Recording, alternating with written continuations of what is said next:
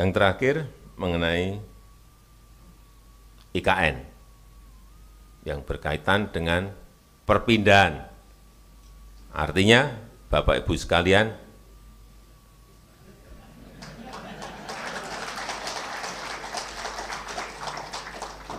saya dengar ada yang senang, ada yang enggak senang.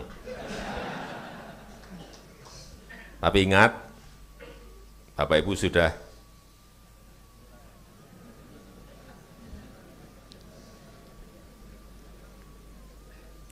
Bapak Ibu sekalian, kita ini memiliki 17 ribu pulau. Memiliki 17 ribu pulau.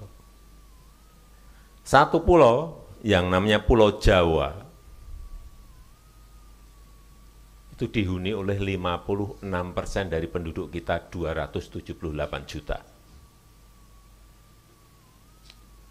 278, 56 persennya itu hidup di Jawa sehingga daya dukungnya sudah enggak kuat Pulau Jawa ini. 150-an juta hidup di Jawa. PDB ekonomi 58 persen itu ada di Jawa. Perputaran uang, perputaran ekonomi 58 persen ada di Jawa.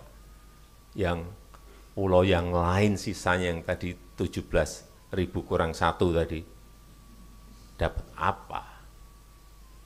Ini yang sering saya sampaikan, kita butuh Indonesia sentris, bukan Jawa sentris. Sehingga perlu pemerataan. Perlu pemerataan. Apalagi Jakarta. Jawa saja sudah seperti itu, apalagi Jakarta begitu sangat padatnya, begitu sangat kompleks permasalahannya. Karena bisnis ada di sini, ekonomi ada di sini, pendidikan ada di sini, pariwisata ada di sini. Semua ada di Jakarta.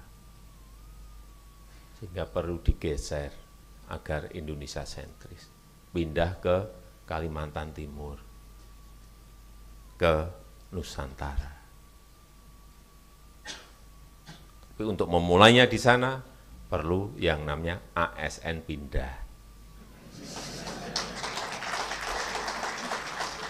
Ini adalah masa depan baru dan sudah disiapkan insentif. Kalau nggak ada ini alot pasti. Tapi kalau ada insentif kan beda. Rumah dinas juga ada rumah tapak maupun rumah apartemen. Biaya pindah juga diberikan suami istri plus anak. Ada tunjangan kemahalan dan fasilitas-fasilitas lainnya.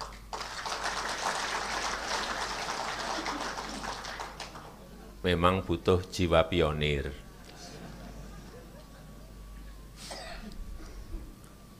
Dulu ditempatkan di luar Jawa saat zaman-zaman dulu kan juga biasa saja.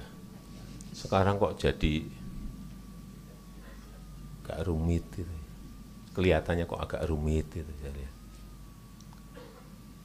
Tapi kalau nanti sudah ditunjuk Bapak pindah, Bapak pindah, Ibu pindah, Ibu pindah. Moga-moga semuanya selesai.